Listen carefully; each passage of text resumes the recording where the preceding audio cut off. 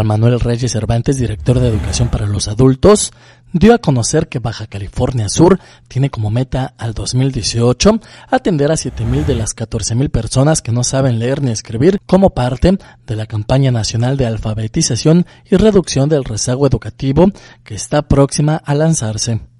Mencionó que en el 2014 se tiene un instituto consolidado y comprometido ya que gracias a una labor educativa con la que iniciaron hace tres años se ha integrado un excelente equipo, teniendo como consecuencia que por tercer año consecutivo se lograran las metas establecidas para Baja California Sur.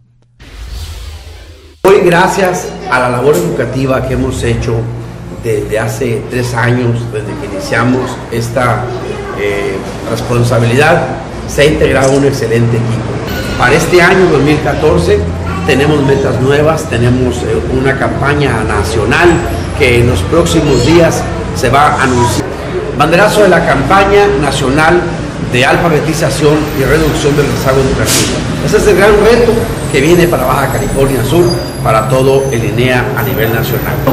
Estamos hablando de que México tiene 5 millones 300 mil que no saben leer y escribir.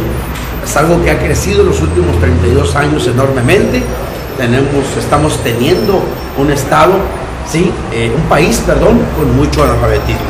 A Baja California Sur, a 2018, le corresponden 7 mil. Esas metas son las que vamos a trabajar de este año a 2018. Informó para Tribuna Digital Irving Thomas.